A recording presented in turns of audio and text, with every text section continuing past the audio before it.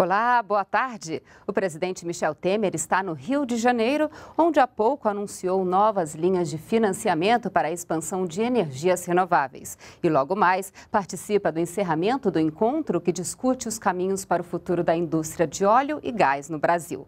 Os nossos repórteres Luana Karen e Ney Pereira estão acompanhando a agenda do presidente. Vamos então ao Rio de Janeiro conversar primeiro com a repórter Luana Karen para saber sobre essas novas linhas de financiamento financiamento de energia renovável. Boa tarde, Luana. Olá, Alessandra, boa tarde. Boa tarde a todos que nos acompanham aqui na TV NBR. Pois é, serão 2 bilhões e 200 milhões de reais para empresas de todos os portes e também para administração pública, microempreendedores, produtores rurais, condomínios e até para a pessoa física. Poderão ser financiados sistemas de geração de energia solar, eólica e de aquecimento de água por meio de placas solares.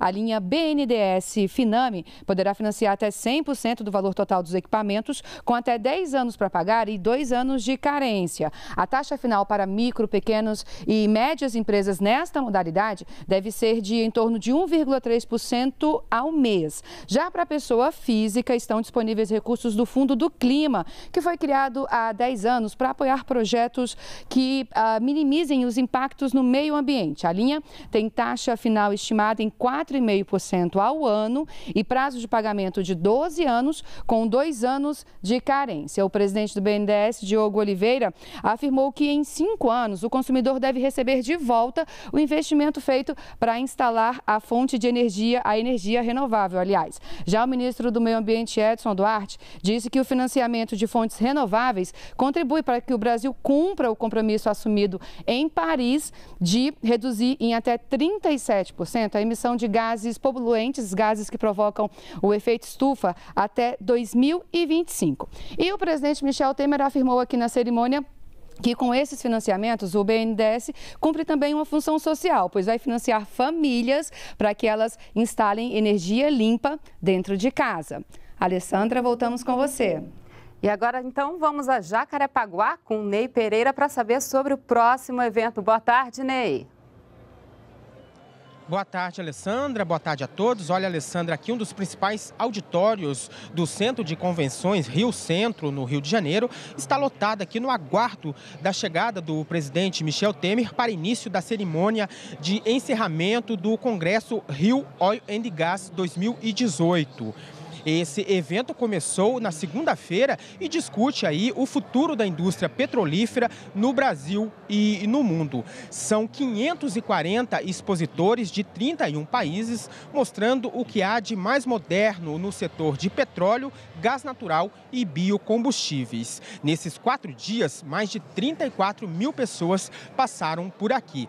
A expectativa dos organizadores do evento é que o Congresso aqui movimente cerca de 200 235 milhões de reais, um aumento de 30% em relação à última edição que ocorreu em 2016.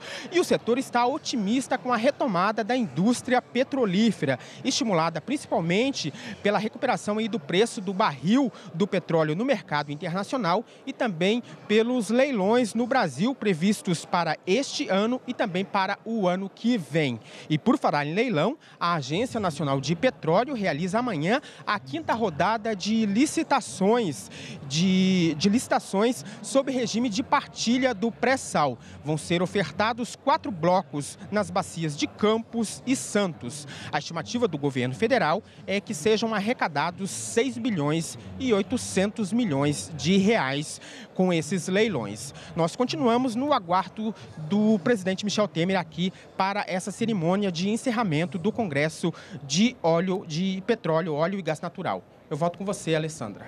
Obrigada, Ney. Obrigada, Luana. Um bom trabalho para vocês dois aí no Rio de Janeiro.